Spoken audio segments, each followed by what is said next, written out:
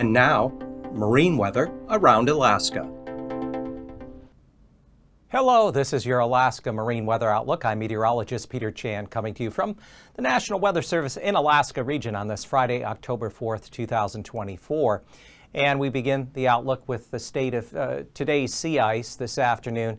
No notable ice uh, along uh, the Beaufort Sea coastline, Chukchi Sea coast. We still have that area of ice off of the uh, Russian Arctic coast, and we have just entered now in the early portion of October the beginning of the new ice growth season, but uh, it'll be a little while yet before we get consistently some deeper cold air entrenched across the region to allow that ice to build. But in the meantime, we have a powerful low pressure system yesterday afternoon, Thursday afternoon, this low uh, into the evening hours bombed out around 950 millibars. This low is beginning to fill now at 964 millibars late tonight, early Saturday morning. It's going to be drifting southeastward. Meanwhile, secondary low will be taking shape over this region as we go through late Saturday into Sunday, and then eventually just kind of moving up and weakening over the Gulf early next week.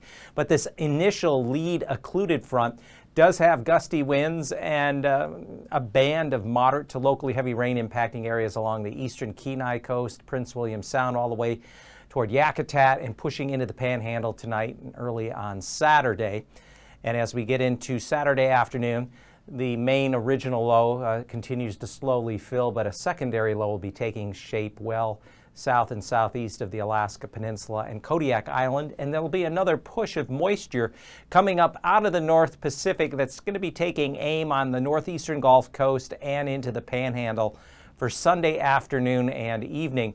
And by Sunday, we find the secondary low located here just southeast of Kodiak Island.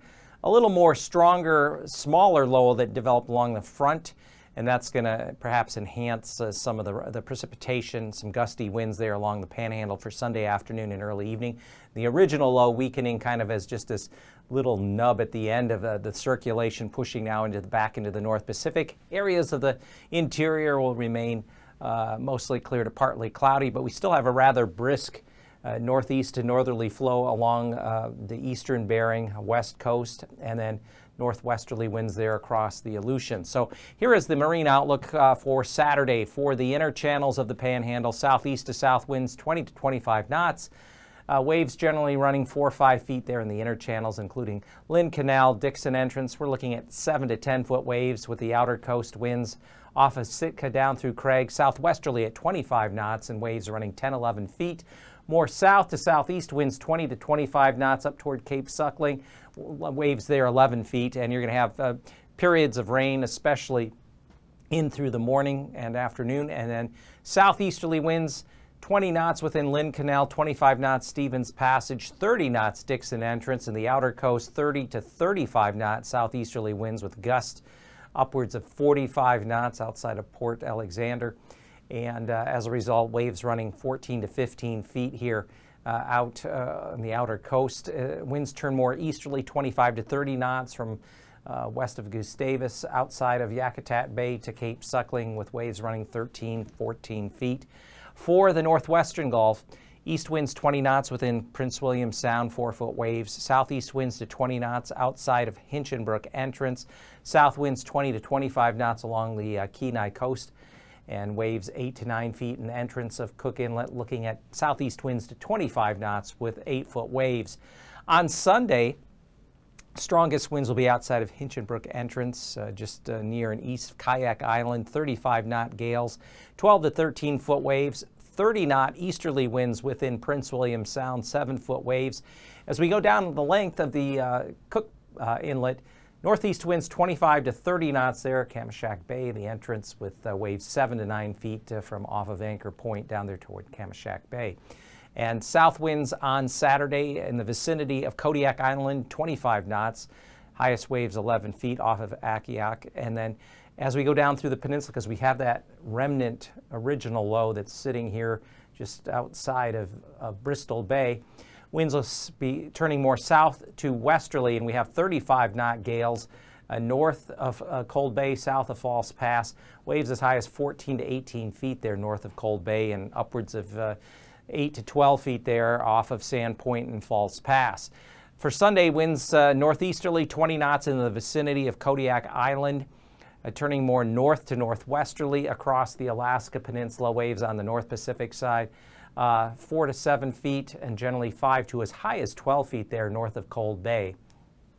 The Aleutians, winds will not be, uh, as I mentioned uh, earlier, there have been uh, some reports uh, this Friday afternoon of wind gusts as high as 75 to near 90 miles an hour around Dutch Harbor. Those winds coming down the high wind warning uh, will be allowed, uh, hopefully, to expire by mid uh, Friday evening.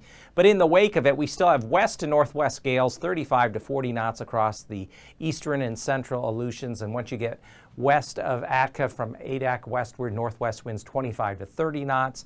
Still could be some waves locally running 15 to 20 feet, especially there uh, along the Bering side of the uh, central and eastern Aleutians. Sunday, we find uh, winds generally northwesterly across the Aleutian chain, 30 knots from Unalaska through Adak.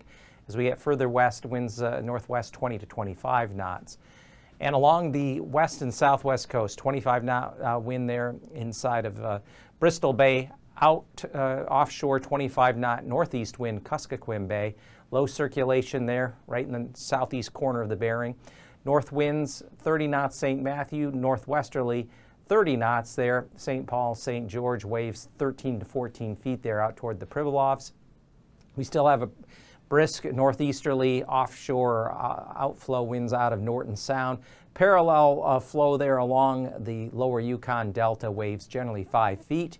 And then on Sunday, look for northeast to north winds out of Bristol and Kuskokwim Bay at 20 knots. North winds 15 to 20 knots, Norton Sound down along the lower Yukon coast, but Northwesterly winds to 30 knots, St. Matthew down to St. Paul with waves there of 13 feet. Now, through the Bering Strait, we're still going to have on Saturday north winds 30 to 35 knots on the north side of St. Lawrence Island, some higher wave action, some minor uh, beach erosion possible. So that's why there's a high surf advisory in effect there uh, through the day Saturday uh, on the north side of St. Lawrence Island.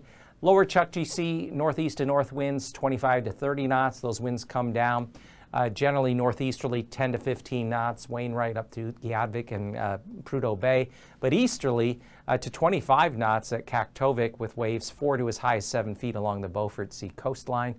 And then on Sunday, kind of a mixed bag of winds around uh, 10 knots there, uh, Prudhoe Bay and Kaktovik with 3 4 foot waves. Uh, becoming more easterly at Utqiagvik. And then as we drop down through the lower Chukchi Sea, we're looking at winds generally 25 to 30 knots out of the north waves 6 to as high as 9 feet toward the strait.